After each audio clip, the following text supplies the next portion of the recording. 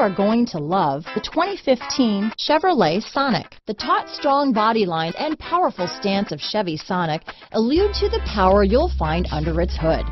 Throw a little extra power into the mix with the available turbocharged engine. So where's the sweet spot? Behind the wheel. This vehicle has less than 90,000 miles.